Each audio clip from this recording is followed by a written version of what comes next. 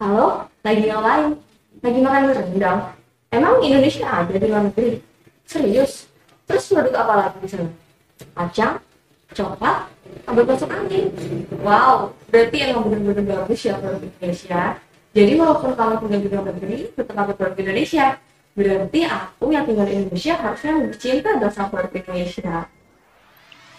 Pada periode Januari sampai April 2020, nilai ekspor olahan makanan Indonesia meningkat 7,9 persen. Produk herbal Indonesia juga menyerbu pasar dunia.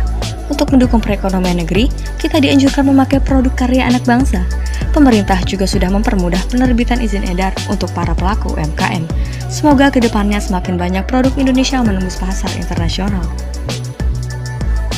Cari apa? Semua ada di Indonesia. Gunakan produk Indonesia, bangga buatan Indonesia